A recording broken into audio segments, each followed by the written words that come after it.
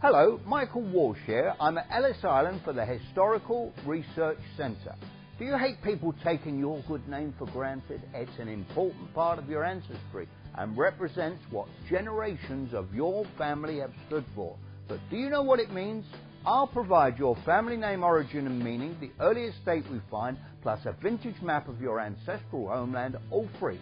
Just pay processing and handling. Listen carefully. A detailed search of the Historical Research Center records and databases will reveal your origin and meaning going way back to the country your people called home. One, two, three hundred, maybe a thousand years or more. Plus, learn how to get your detailed family name history. You'll take a glimpse into the lives of long forgotten people, right back to the earliest date our historians find. We research records from around the world, genealogies, books, manuscripts, documents, censuses, ships manifests, rolls, and registers for clues to help in your search for family heritage. See if your meaning relates to what your family has become. Witness their feelings as loved ones absorb details from historical days, occupations, village names, famous namesakes, or secrets from the past that give a sense of belonging a sense of identity, a sense of self, and a sense of family. Get your heirloom framed to display with pride and share with relatives. The coat of arms is produced in centuries old artistic style and stands for the hopes, ambitions, and aspirations